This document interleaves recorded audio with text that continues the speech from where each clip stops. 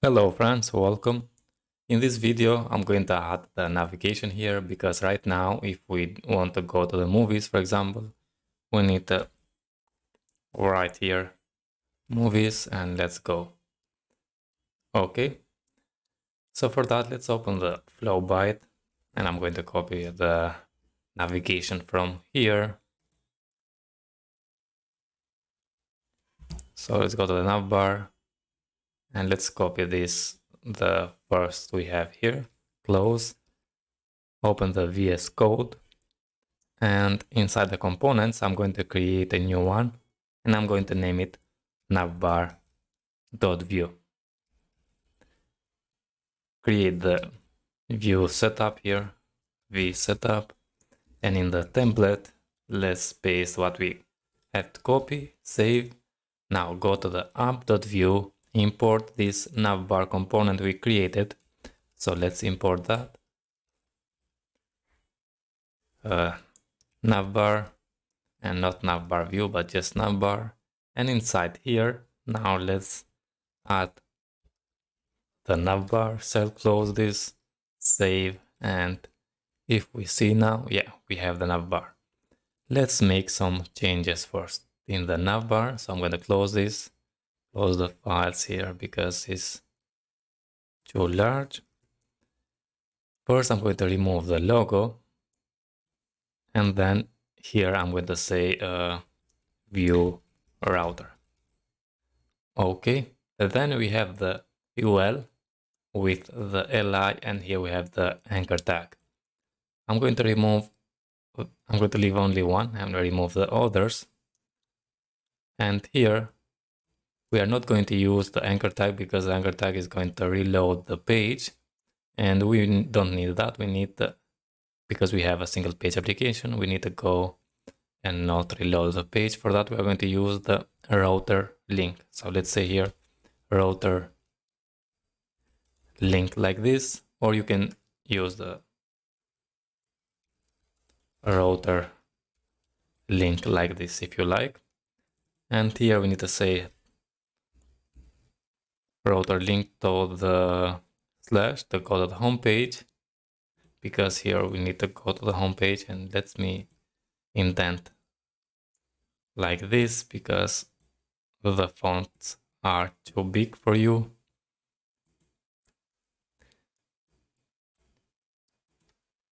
And I'm going to do something like this. And if I save and let's go and see, yeah, we have this home. And if I click, we go to the home. Now let's add the link for the about and for the movies. A link to the about. So slash about, here we need to say about. And the last is for the movies. Let's say slash movies. And here we need to say movies as well. Save we have home about movies. Let's go to the about. We are in, we are inside the about. Let's go to the movies. Yeah, we are here. And as you can see, if we go here and navigate back to the movies, let's just inspect the elements, go to the network and slow 3G here. Let's go to the about and now go back to the movies. I have uh, as you can see, it's going to take some time to get the movies because it's going to make the API. For, for that, let me just close this and open the movies view. And here I'm going to create a ref. So let's say const, uh, I'm going to say is loading, loading to be a ref and by default is going to be true. Very good. And down there now I'm going to say a div with a class max with the be small mx auto. And here I'm going to add a span with a class, let's say text. To Excel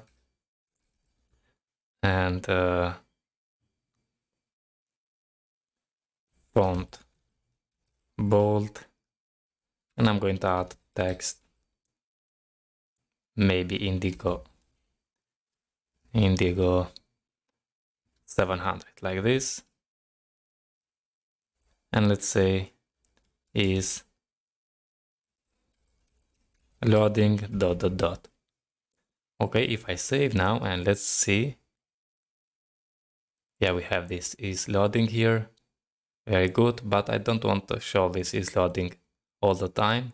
I want to show only when we don't have movies. So for that I'm going to make this an async function first. Let's say async and now I'm going to create a constant for the result which is going to be equal with await fetch movies